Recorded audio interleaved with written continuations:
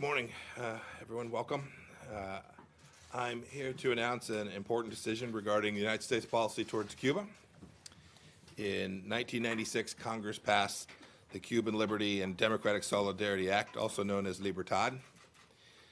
Uh, under Title III of that act, United States citizens who had their property confiscated by the Castro regime were given the right to file suit against those who traffic in such properties. But those citizens' opportunities for justice have been put out of reach uh, for more than two decades. For now more than 22 years, every president, every Secretary of State has suspended Title III in the hope that doing so would put more pressure on the Cuban regime to transition to democracy.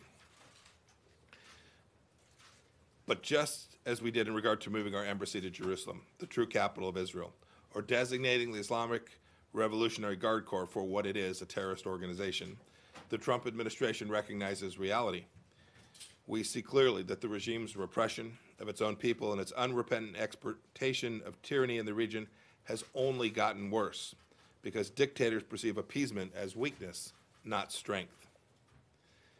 President Obama's administration game of footsie with the Castro's junta did not deter the regime from continuing to harass and oppress the heroic ladies in white, a group of women dedicated to peacefully protesting the regime's human rights abuses. More broadly, the regime continues to deprive its own people of the fundamental freedoms of speech, press, assembly, and association.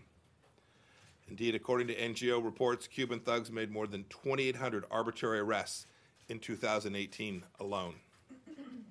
In the run up to the country's recent sham constitutional referendum, one that enshrined the Communist Party as the only legal political party in Cuba, the regime harassed, beat, and detained leaders and activists, opposition leaders and activists.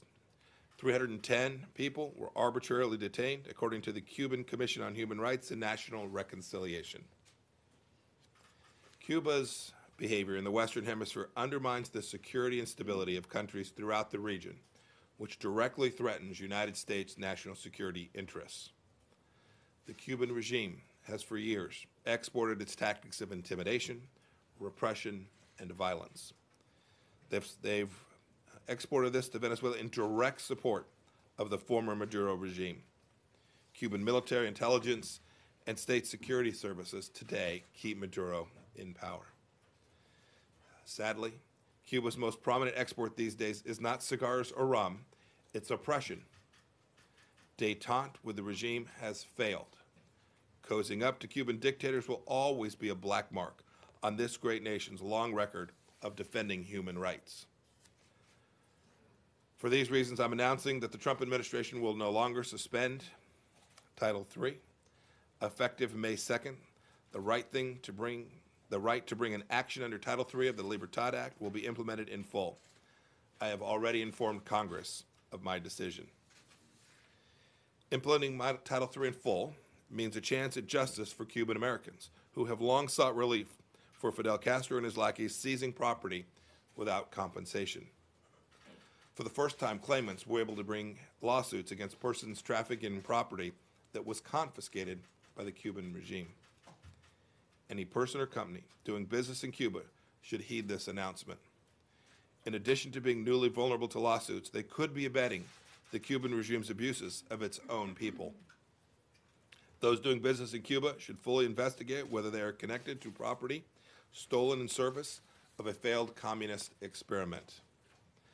I encourage our friends and allies alike to likewise follow our lead and stand with the Cuban people.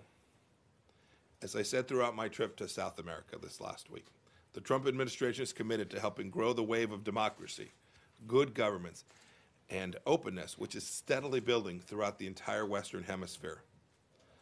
On my trip last week, I saw these positive changes firsthand and told our friends and allies that we're with them. We're on the side of what's right and what is just. Today, we are holding the Cuban government accountable for seizing American assets. We're helping those whom the regime has robbed get compensation for their rightful property. And we're advancing human rights and democracy on behalf of the Cuban people.